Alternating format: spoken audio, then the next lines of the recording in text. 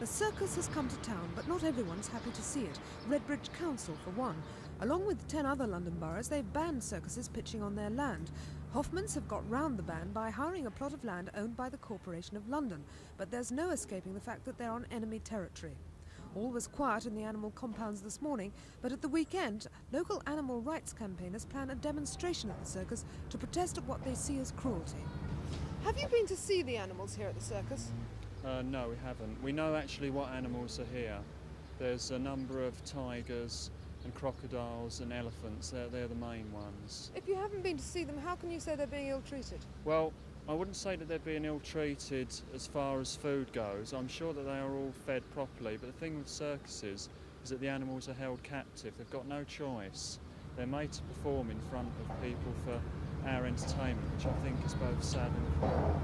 The presence of people like this always worries us because um, we hear about animals being let out of laboratories and mink farms, for instance.